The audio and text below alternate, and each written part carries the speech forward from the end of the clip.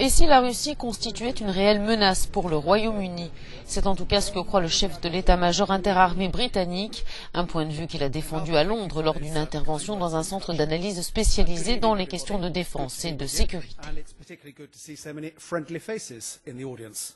Je pense que la Russie pourrait déclencher les hostilités plus tôt que prévu et même bien plus tôt que nous le ferions, nous, dans les mêmes circonstances.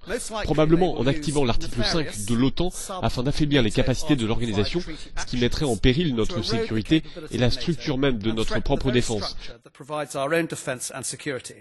Sir Carter a longuement détaillé les capacités militaires russes, vidéo à l'appui. Selon lui, des manœuvres militaires effectuées en 2017 par la Russie étaient des attaques simulées contre l'Europe du Nord, de Kaliningrad à la Lituanie.